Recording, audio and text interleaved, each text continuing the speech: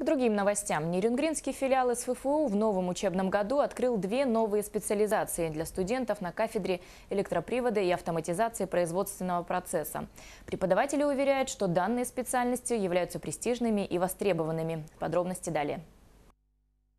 На Дальнем Востоке такие профили, как электрооборудование, электрохозяйство предприятий, организация учреждений и электрификация горного производства открыты впервые. Обе специализации весьма универсальны и, безусловно, возникли из необходимости и специфики Южно-Якутского региона. На эти направления был самый высокий конкурс от трех с половиной до четырех человек на одно бюджетное место. Хочется отметить, что на направление электроэнергетика и электротехника поступили наиболее подготовленные студенты.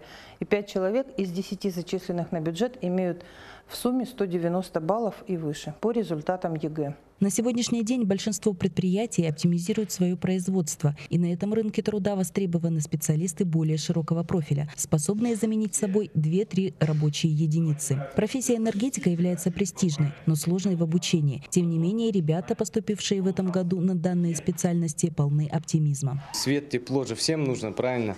Поэтому как бы, ну, востребовано довольно-таки специальность. В 21 веке человек без тока не человек.